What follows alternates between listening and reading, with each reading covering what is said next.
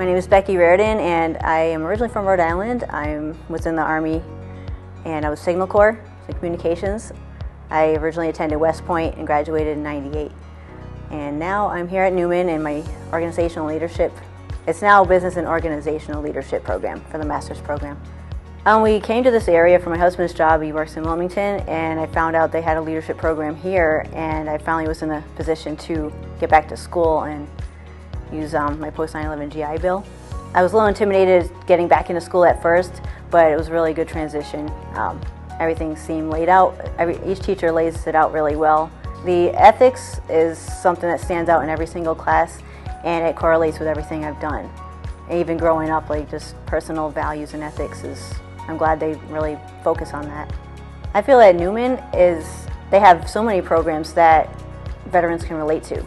Like even the coaching programs, different leadership in different areas, I think it's a great, um, great environment. Being able to use the post 9/11 GI Bill and apply here, applying here was very easy.